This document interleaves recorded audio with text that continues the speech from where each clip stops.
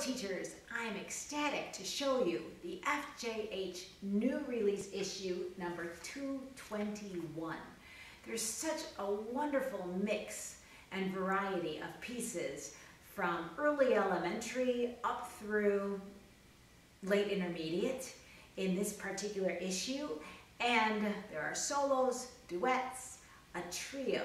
So there's lots to choose from. I'm going to start with the easiest of the pieces. So the very first thing on the new release issue is the Flashcard Friend, second edition for grade 1A. So these flashcards completely correlate with the method of succeeding at the piano, grade 1A. So in these flashcards, there are not only note names that are reinforced, but also intervals, musical symbols, rhythm, and even um, some physical gestures that the students are learning in the piano method. So it's just a wonderful pack of flashcards for your students. So, Smiling Selfie is by Emilie Lin. This is a wonderful piece uh, to review staccato and legato articulations. The phrasing is something the students will have to think about, as well as the dynamic changes. The piece is marked happily as the tempo.